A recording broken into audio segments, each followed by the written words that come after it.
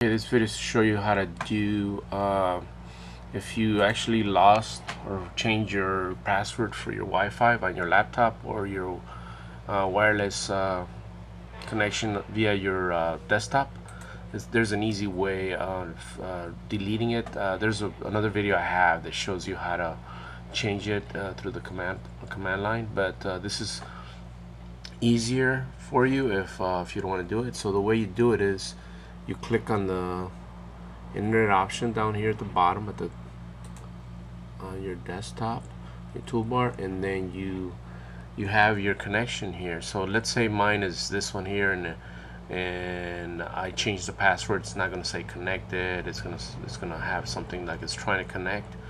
So what you do is uh, uh, it'll have something like something like that. So it'll be like trying to connect or local access so the way you do it is you can right click and right click on the connection like so and then click forget this network.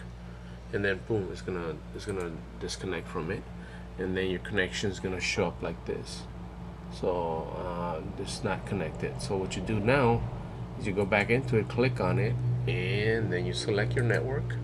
And you click uh, connect automatically now it's going to prompt you for your, your new password or um, the password you change.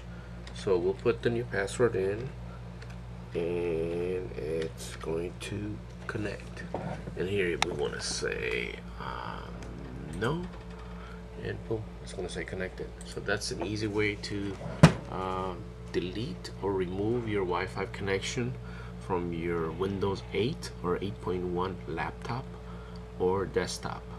And I apologize for the movement of the camera. I'm recording and doing the work as well. So uh, if this video helped you please subscribe and click like. Thank you and until next time